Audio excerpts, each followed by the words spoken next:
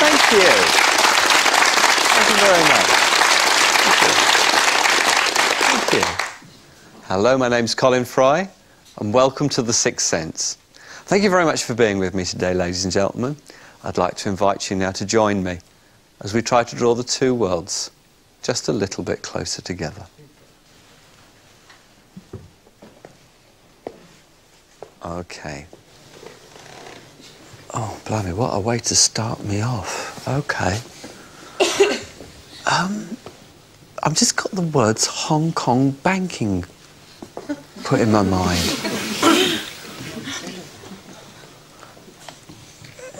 Have we got someone here that has got some connection to Hong Kong? I lived there You lived in Hong Kong? Sweetie, when you were out there, were you out there with a gentleman that has now passed to the spirit? Mm-hmm. Oh, then we are correct. Okay. Did he deal with the financial matters when you were out there? Mm-hmm. Yeah? And when you came back home, I'm not going to say that you were like broke because I don't think you were, but, but money was a bit tight. In fact, it was very tight. yeah? Do you understand? Yeah. Well, he's got a confession to actually make to you. I know he has. Right. Um, show me a figure. there was about £25,000 in a Hong Kong bank and he couldn't get it out the country. It was like money that was like owed to him or due to him and he never had the heart to tell you that he couldn't get the money back home. And he said, I've lived it all this time, and he said, and I can't have it on my conscience anymore. I've got to tell you. he was very honest.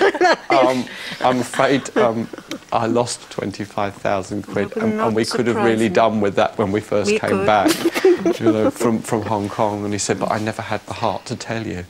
Because he knew, he knew that you would be less than happy with Kill it. him. Well, maybe it's best to wait then until you have passed over before you pass these things on. All right. This guy just strikes me as being, you know, like a really lovable guy. He, he is a really nice guy. And he said, but I'm afraid me and money um, never seemed to go too well together. True. All right. Do you remember the gold watch? He didn't sell it. did he?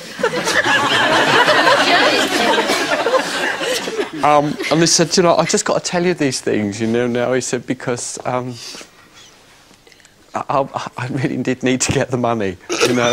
so I'm afraid I did go out and I pawned it. oh, don't. All right. Um, what I've got to actually say to you is, even though he's been a bit, like, a bit shy about this, and I can feel him in my like looking down, thinking, "Oh no, how do I tell him that?" and everything. He's doing it with a smile on his face. It's almost like um, you could never be really angry with him. You know, for, for, for all the terrible cock-ups he made, you could just like never be cross with him. You know, he's just almost like he'd look at you like a lost little boy, you know, and you'd think, oh God, I can't be angry with him. I Um, just throw the plant pot. yeah.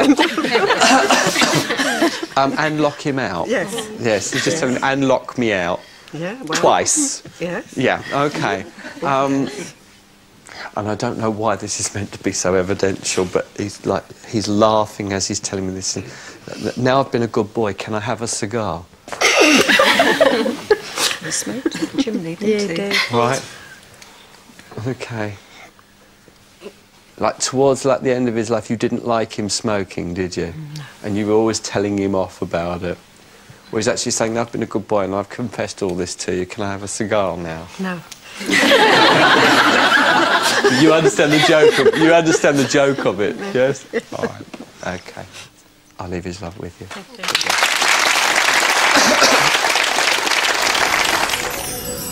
Oh, I just knew as soon as he said Hong Kong it was going to be for you.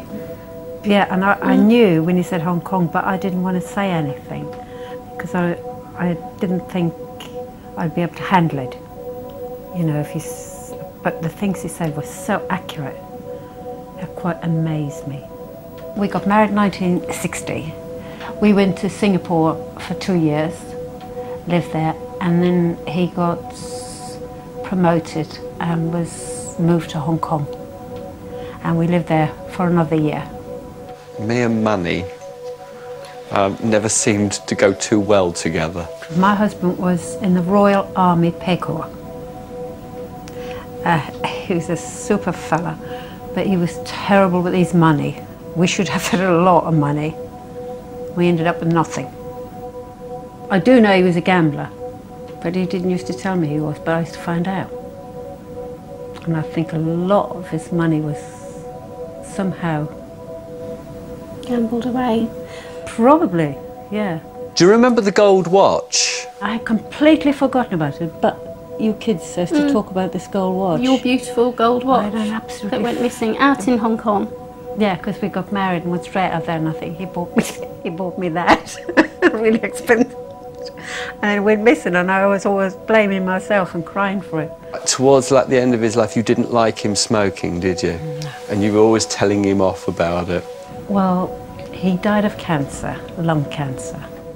He was a very heavy smoker. And he was a terrible heavy smoker. And I used to keep saying to him, one day you'll kill yourself smoking like that. And I used to absolutely go nuts. And he'd smoke like he did. Mm. And he said, oh, if I'm going to kill myself, I'll kill myself. It's none of your business, sort of thing. That was, that was mm. it. I'll leave his love with you. It made me feel absolutely wa- amazed and wonderful. And I, it was so believable. And it actually did happen.